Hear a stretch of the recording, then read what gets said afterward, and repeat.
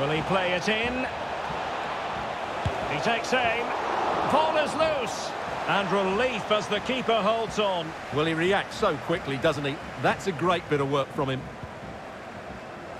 Oh, that's a goal at the wrong end.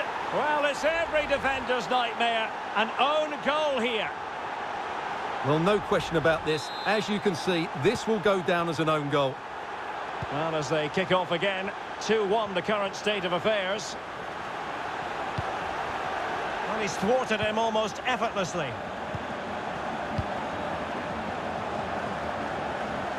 That was a move of great promise. They could easily have been in.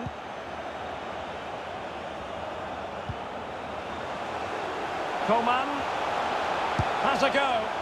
And the keeper able to hold on to it. Lewandowski takes the shot. And a goal to increase two-goal lead now.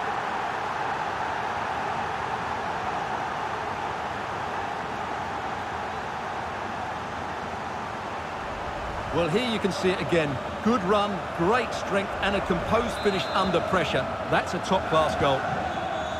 No shortage of goals in this match. 3-1. And we're inside the final 30 minutes. Creative look about this.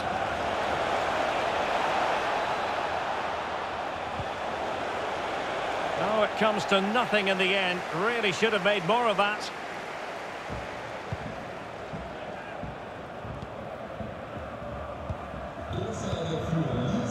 Lucas Hernandez. Superbly read and executed. Stindl played into the centre. Well, it's actually ended up being easy meat for the keeper.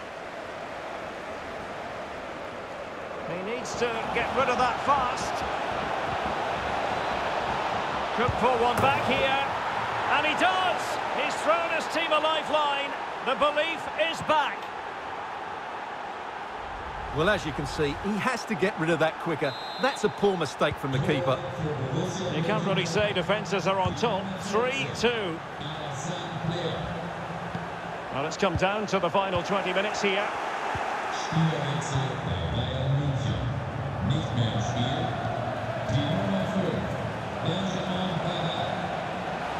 Now he must favour the cross.